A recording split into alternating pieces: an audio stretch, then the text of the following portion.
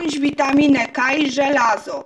U ludzi żelazo rozprowadza tlen po organizmie, buduje hemoglobinę oraz w oddychaniu komórkowym uczestniczą cytochromy. To są białka, które mają jedną cząsteczkę chemu, uczestniczą właśnie w łańcuchu oddechowym. E, u roślin tak samo. Witamina K u zwierząt e, uczestniczy w krzepnięciu krwi i mineralizacji kości. U roślin jest akceptorem elektronów przy fotosyntezie.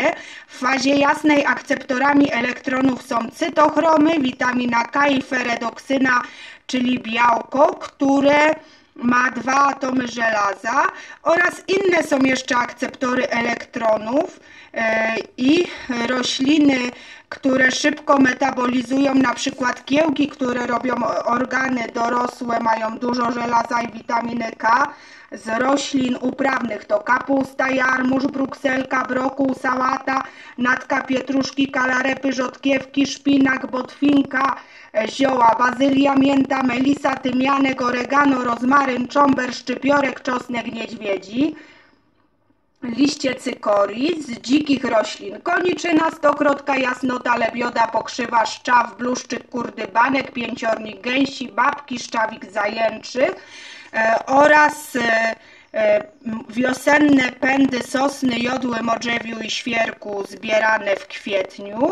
E, i człowiek nie trawi celulozy, ale przed trzonowce i trzonowce miażdżą właśnie rośliny, komórki, z nich wypływa sok, czyli zawartość cytoplazmy.